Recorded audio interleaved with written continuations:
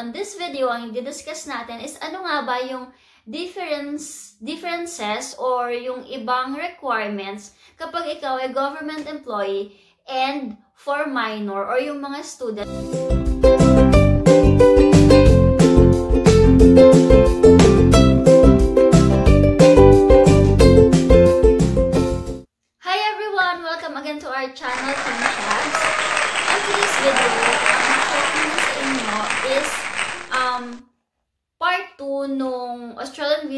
Application. But on this video, ang i-discuss natin is ano nga ba yung difference, differences or yung ibang requirements kapag ikaw ay government employee and for minor or yung mga student na nag-aaral pa lang sa Pilipinas. So, yan ang i-share ko sa inyo on this vlog. So, yan. Simulan na natin. Um, actually, yung processing naman for government employee um, is the same lang dun sa unang vlog namin. So, kung di nyo, nyo pa napapanood yung aming vlog, please visit our channel, Team Shab. So, meron kaming unang vlog about Australian Tourist Visa for employed and unemployed. So, it will have the same process para sa mga government employee. Same lang siya. So, inisa-isa na namin doon kung ano yung mga requirements na kailangan at ipinasa namin. Um, yon panoorin na lang siya. Ilalagay ko na lang din sa description ng video na to yung link para mas mabilis nyo siyang makita.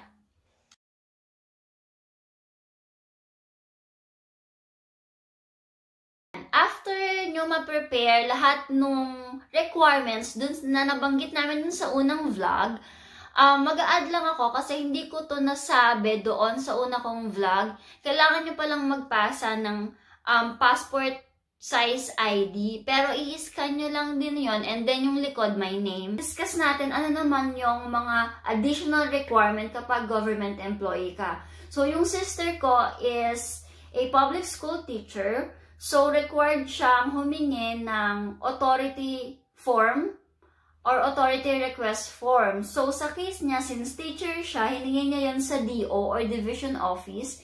And then, ang nakalagay doon is um, na parang permit siya na pwedeng lumabas ng bansa ang ang sister ko. So, hinahanap yon sa lahat ng um, mga government employee. Kapag sinabi mo sa government ka nag-work, kailangan may um, authority form ka. Yun yung una. So, galing din siya sa DO.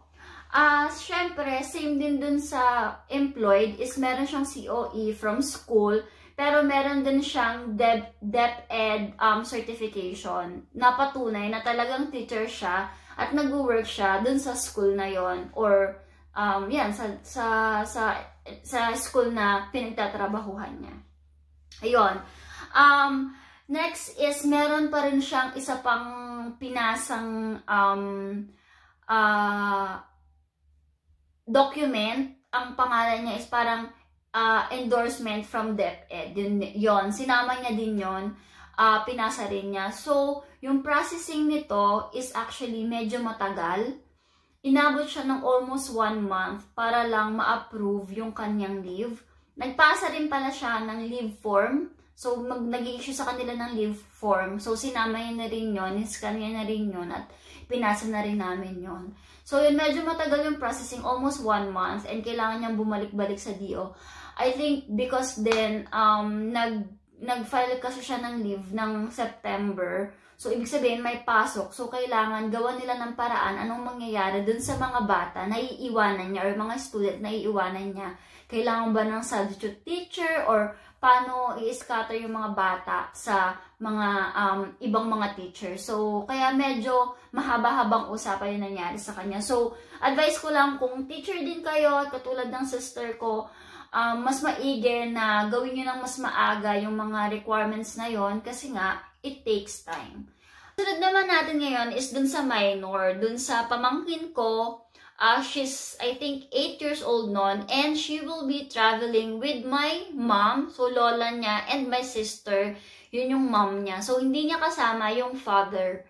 Um, since student siya, ang una naming uh, pinasang additional requirement for her, syempre, yung school ID niyan, and then, um, nag-add kami ng Certificate of Enrollment. Yun ay patunay na talagang nag-enroll siya or enroll siya sa school for that fiscal year. And syempre, yun yung ground niya na, alam mo yun, babalik siya sa Pilipinas kasi pagpapatuloy niya yung pag-aaral niya.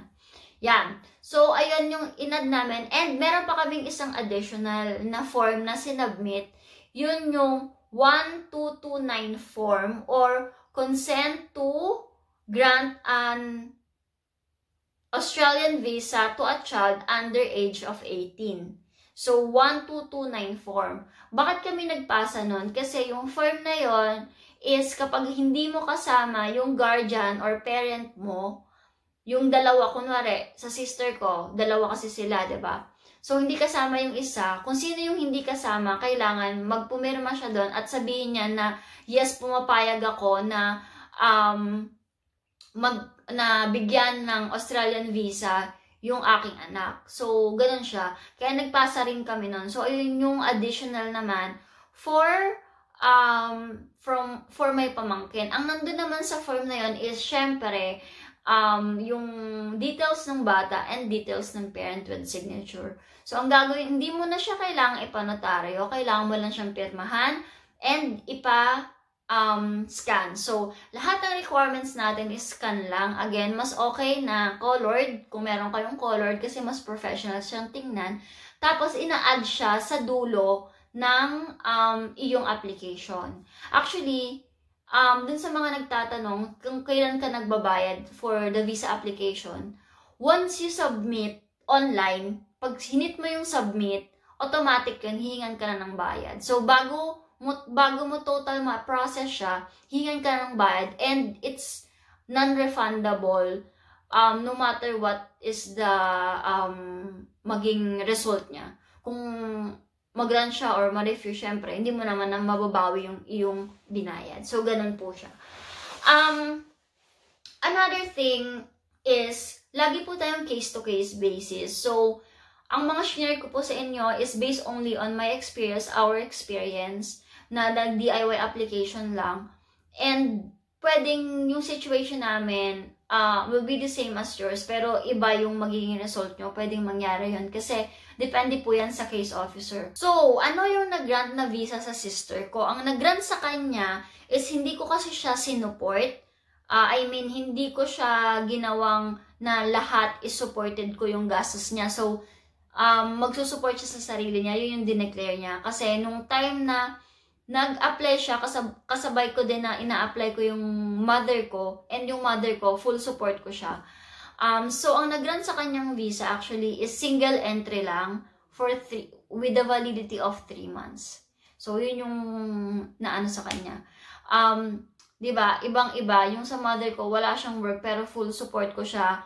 Ang nangyari sa mother ko is multiple entry for one year yung nakuha niyang visa. So, ayun lang. And wala pong medical then for both, for my sister and my niece. Wala pong medical na nangyari. Uh, ayun, yun lang. So, dun, again, dun sa initial requirement, please watch our video, yung isang video namin. Nandun na lahat. Uh, this is a shorter video para lang i-add or i-discuss ano yung mga iba pang uh, requirement na pinasa namin for government official as well as for minor. Ayan. Good luck sa mga mag-a-apply and thank you so much for watching our vlog.